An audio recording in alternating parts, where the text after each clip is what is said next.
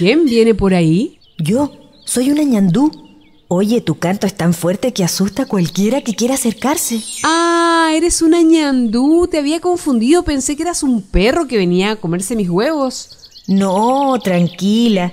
Tú sabes que los perros tienen que estar siempre guardados en sus casas para que no dañen a otros animales. Y la gente de aquí es cuidadosa. Solo vine a dar una vuelta para comer algo. Mi marido está cuidando mis huevos. ¿Andas buscando comida?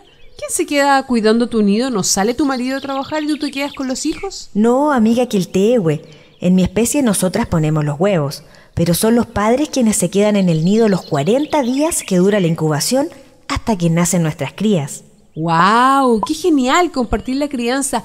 Con mi marido nos turnamos ya que nos toca cuidar los huevos cerca de 26 días. Me parece muy bien. Eso es trabajo en equipo. Oye, amiga ñandú, ¿y cómo se escucha tu canto?